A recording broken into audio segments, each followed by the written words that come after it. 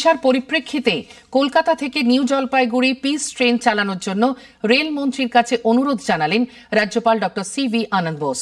তিনি বলেন বাংলার সব থেকে বড় শত্রু হিংসা। তিনি সেই সঙ্গে কলকাতা থেকে কিষান এক্সপ্রেস এবং কালচারাল হুইলস চালাতেও অনুরোধ করেন রেলমন্ত্রীকে।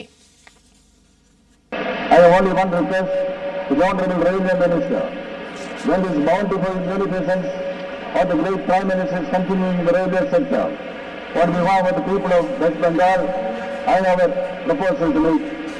We need three special trains where Mr. Ashwini, Mr. Vishwa Vaishnaw can consider that.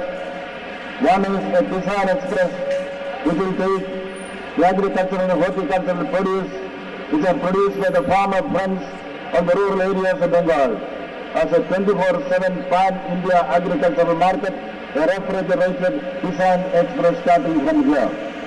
The second is, we want a palace not a palace on wheels, culture on. The great traditions, culture and heritage of this great state, we would like to showcase it to the whole world in a moving train every year. So we want enemies of Bengal are violence and corruption. We would request Rashmi Vaishnaw, if you can get the concurrence of everybody, let a peace train start from here and go to the Jalpaiguri station and from there Today, we will celebrate the peace meal.